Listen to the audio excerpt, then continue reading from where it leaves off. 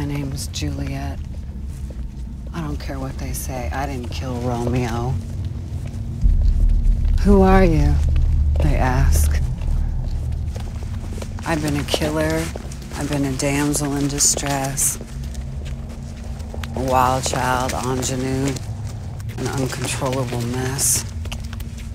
There's a power in people thinking you're dangerous. Knowing how much you can endure. I never set out to be reckless.